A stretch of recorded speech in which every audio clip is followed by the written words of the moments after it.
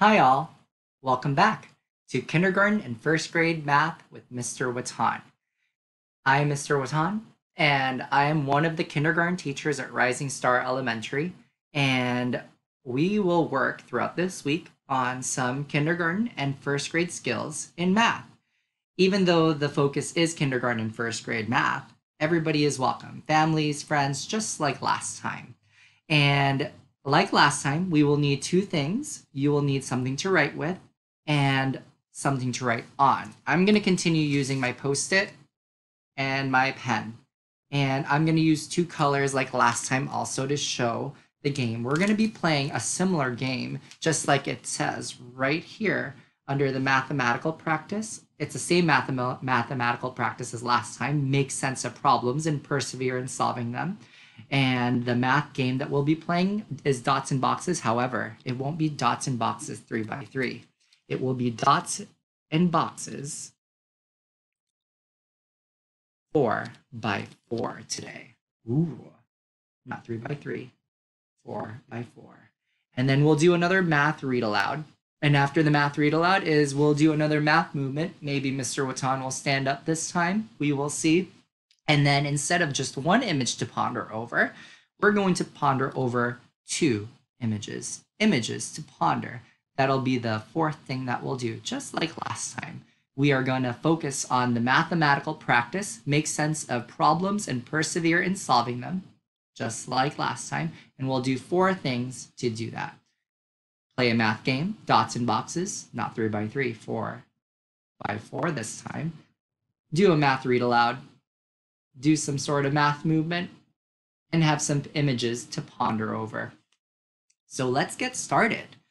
The mathematical practice of today is making sense of problems and persevere in solving them, just like on the last time we met. And this will be the rest of the mathematical practice for the rest of the week. So let's get started with the first one, math game, dots and boxes. So as you remember, dots and boxes, there are dots going this way and dots going this way. Oh, I'm showing you an old dots and boxes game that from last time, these two right here, Cheetah and Panda played. So I'm going to show you a new one right here.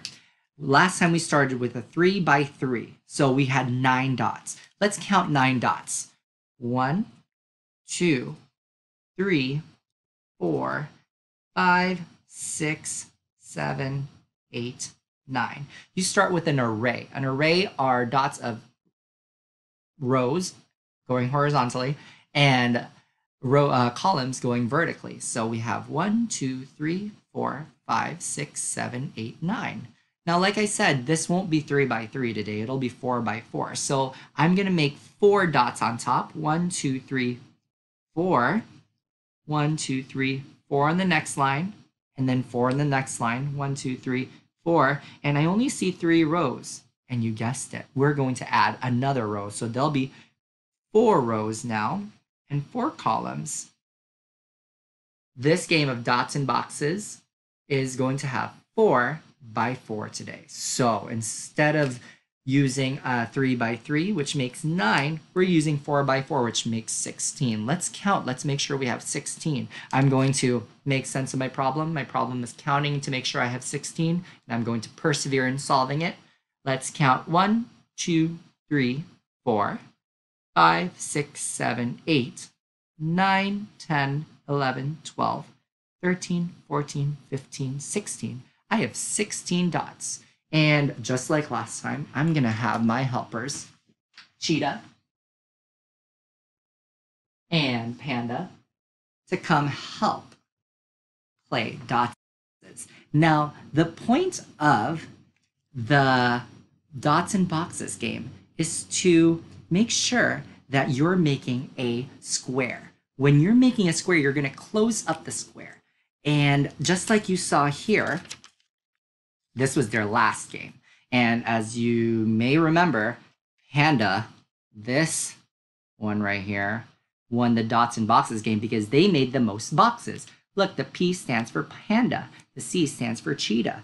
Now, cheetah is going to make sense of this problem.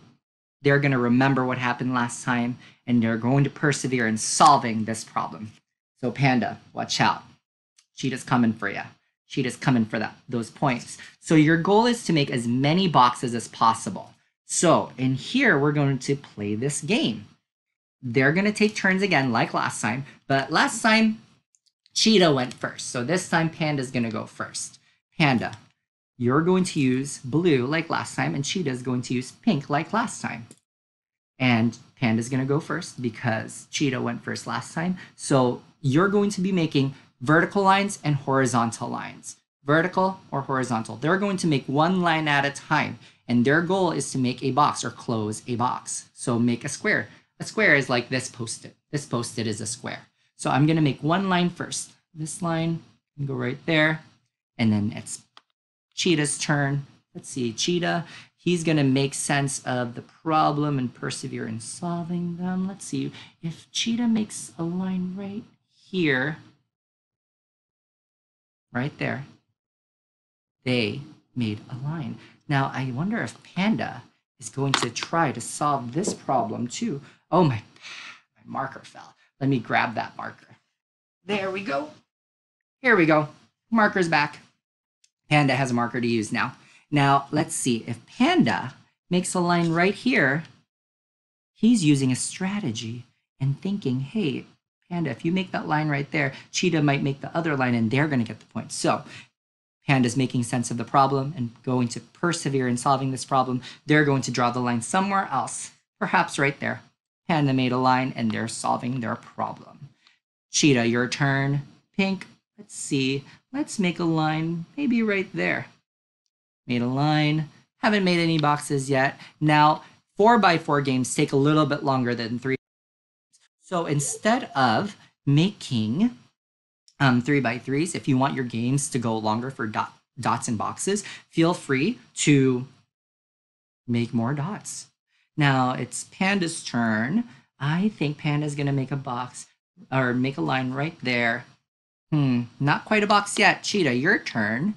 Let's see, Cheetah, you can make a line right there. Oh my. Panda is going to make sense of this problem and persevere in solving it. They're going to make a box by closing this line right there. Panda gets first point. Cheetah, don't worry, you got this. Cheetah, make another line. Where will you make the line? Perhaps right here. Okay. And then Panda's going to make another line. Mm, maybe Panda wants to make a line right there. Haven't closed any boxes yet. Cheetah, where will you go next? Cheetah might go right here. And then Panda is going to take their turn. Make a line, maybe right there. Cheetah, now's your time to make sense of this problem and persevere in solving it. Let's see. Look, Cheetah, you have an opportunity to get a point. Draw the line, make the letter C. Cheetah, you made a point for yourself. Way to persevere in solving your problem. Great, Panda's turn. Panda, let's make a line right here.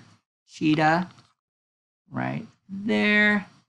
Oh my, I see two places where Panda can close a box. Here or here? Where do you think, Panda? Let's go right here. Gets a point.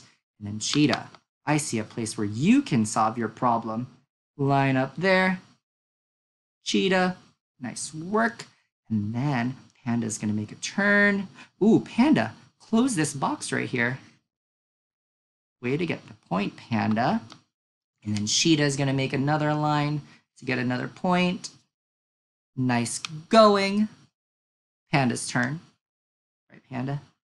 There, let's see. Let's make a line right there. Cheetah. You make a line down there on the bottom, you might get that point, and you do. All right, Cheetah.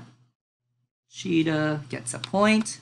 Panda, where will you make the line next? Perhaps up here. Nice, nice, nice, nice. And then she, uh, Cheetah, make the line there. Cheetah gets a point. Panda, where can you make a line? Hmm. Mm-hmm. Let's take a look. Perhaps down there, down here, and let's see who gets this final. Ooh, mm, excuse that. This final line can go right here. Cheetah, you made that point. Now let's see. Did both of you make sense of the problem, and persevere in solving it. Let's see. Did you make boxes? Yes, check. Did you try to make as many boxes as you can? Yes, check. Panda, let's count how many boxes you have. One, two, three. Okay. Cheetah, let's count how many boxes you made. One, two, three, four, five, six. Panda. Panda, I mean cheetah. You made sense of your problems and persevered in solving them. Cheetah, last time, Panda won. This time, Cheetah won. Way to go. Way to come back for your comeback, Cheetah. All right, you two. Thank you for playing that game once more today. And maybe you'll play another Dots and Boxes game next time. Hmm, I wonder what that Dots and Boxes game will have. All right, thank you, you two. I'm going to put you two right back right here. Thank you, Panda. Thank you, Cheetah. Ooh, stay there. Stay. Stay. Thanks. All right, cool. We did the Dots and Boxes game. We have three more things. So we did the math game, and we're going to do math read aloud, math movement, images to ponder. So we're going to do a math read aloud next. That's the second one. Like last time, we're going to use the online resource called Tumblebooks. So if you go onto the school website and you go up here to students and scroll down to the fifth item, one, two, three, four, five. Fifth item, one, two, three, four, five. Click on online academic resources. And then scroll down to Tumblebooks. And today, instead of numbers, I wanted to change it up for our math read aloud. Our math read aloud will be about shapes. So I'm going to go on the tumble search here and then scroll down. And I think it had something about being round. Round is a mooncake. Here it is. Go. The book here. The book is here. So we're going to read this book together and then we'll see how it goes. Play video. Round as a mooncake. Tumble books. Here it is.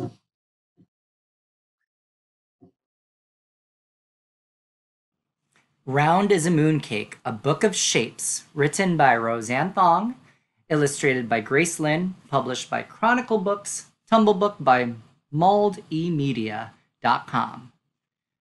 Round is a Mooncake, a book of shapes. Let's find out what shapes we see. Round is a mooncake. Round is the moon. Round are the lanterns outside my room. Do you see some things that are round or circle? Let's see. Let me move this down this way. Here's something that's round or circular. There's something that's round. There are all those lanterns that are round. Let's keep reading. Is a pebble that found a bowl of goldfish that make no sound. There is that round shape. I see other round shapes. Fish eyes. These fish eyes are round. What other round things do you have in your room or in your space or in your living room or in your home or even outside? Ooh, I know something rounds outside right now. Sun, sun. The sun is round outside. Round Rice bowls in our house. Round are the eyes of my curious mouse. Like the fish eyes, look at this mouse eye. Look at this other mouse eye and the mouse nose. So many round things. Round ball that spins and twirls in happy faces of boys and girls. Are the cups of jasmine tea at a table beneath a tree. And what other things do you see? Let's see, what other things do we see? Oh, this flower has a round yellow center. This person's top has round things on it too. Ooh, these animal eyes have round eyes. What other round things are there? Are there any round things? I know. one of my rings. That's round. My other rings might be round too. Let's see. Hmm. Ooh, Mr. Watan's ring is round too. Round things. There's shapes we might run into. Square is a checkerboard in the park. Square is my name, chop, ink, e mark. Look at that. Checkerboard, it's square. Look at her name, chop, inky mark. There we go. The name, chops, inky mark. What other square shapes do we see? Hmm. Oh, wait. Panda, cheetah. You're by something square. This letter M, it's on a square thing. What other square things are there? Hmm, look around. Look around. What other square things could there be? Tofu and radish cakes. Square are the sweets the bakery makes. Square, square, square. Good squares. Square is the box that pizza comes in and dim sum made by Mrs. Chin. Look at that box. It's square. There's another square. Pizza square there too. Square is the basket where kittens sleep. Square is a box for secrets I keep. Look at that square. In the square, in the square, in the box. But wait, I notice another square. I'm going to pull this back a little bit. Where? Oh, I think I went too far ahead. Let's go back. Here we go. I'm moving this. Look, I see a square on the floor. Square. Hmm.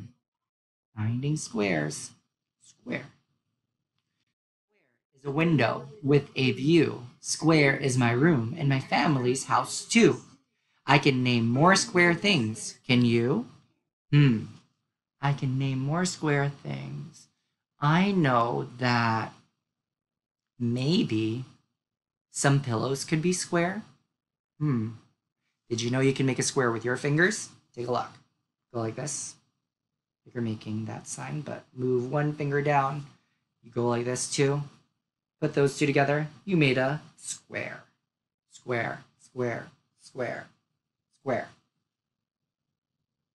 Square. inking stones, paintbrush racks, and mobile phones. Ooh, mobile phones. Here's my rectangle. Rectangle. Do I see any rectangle things too? this book is a rectangle. You see other rectangle things? You could make a rectangle with your finger just like you did earlier with a square. Go like this, go like this, letter L's. Make one L go upside down, put it together. You made a rectangle. Boom, rectangle. Popo's favorite Chinese lace, a very special pencil case. Good rectangle. Rectangles are sacks of rice, an abacus to tell the price. Here's a sack of rice. That's a rectangle. The abacus down here. That's also a rectangle. Hey, these lanterns aren't round anymore. They're rectangles. Puppet stage and homemade tickets. Rectangles are homes for crickets. Are they? That is a rectangle. How about what this stage is? It's a long, it might look like a square, but it's longer. So it must be a rectangle. On a tree. Envelopes for you and me. Hey, some of us might have these during some point of the year. Those are in the shape of a rectangle.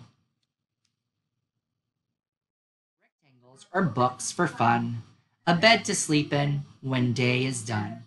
Can you name another one? Hmm, another rectangle. The bed is a rectangle, like they said. Pillows can be rectangle too. let's see what else could be rectangles. You tell me. Tell me other rectangle things. What other rectangle things are there? Mm, we made a rectangle with our fingers. Mm, what other rectangle things are there? Books. We talked about how some books are rectangles. So many rectangle things. Look around. Look outside. See what other rectangle things there are. The end. All right.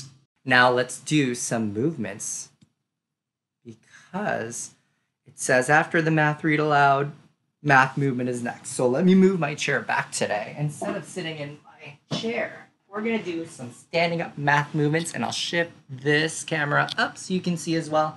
Let's do, let's start with five hops. Let's count that. One, two, three, four, five. One, two, three, four, five. Perfect. Next, if I have five, and I put another five up, that makes 10. Let's count that just to make sure. One, two, three, four, five, six, seven, eight, nine, ten. Let's twist. Oh no. Yeah, let's twist 10 times. One, two, three, four, five, six, seven, eight, nine, ten. Great movement. Now let's see. Yesterday we did a slide, but we slid on our bottoms. Let's slide with our whole bodies today. So if I have 10, I want to take away two fingers. So I'm left with eight. One, two, three, four, five, six, seven, eight. Let's do eight slides. One, two, three, four, five, six, seven, eight. Thanks for moving with me. I'm going to shift my chair back and shift this camera back down. And let's move on to the images to ponder. The other day when we last left off, we started with this image. And I remember making the image a way where we can count it. And I use this to group our images. I'm not going to put a fill in so that we can for sure see the, the lines. Here we go.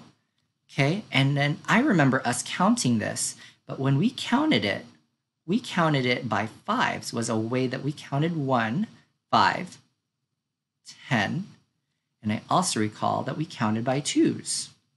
Two. Mr. Watan, let's not move that. Let's move the other shape. Two, four, six, eight, ten. We've done that. I'm going to take that away. I'm going to move down. Here's another image to ponder.